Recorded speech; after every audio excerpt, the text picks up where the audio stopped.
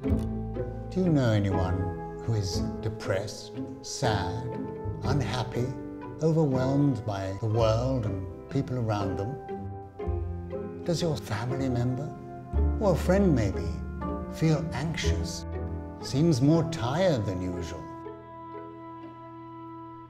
In Office for Suicide Prevention, our trained suicide watchers make sure that nothing bad happens to you or to Here in OSP, we believe in the future.